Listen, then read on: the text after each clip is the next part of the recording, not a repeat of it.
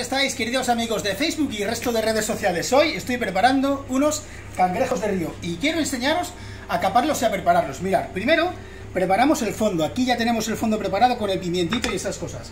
Y esto que os voy a contar es muy importante.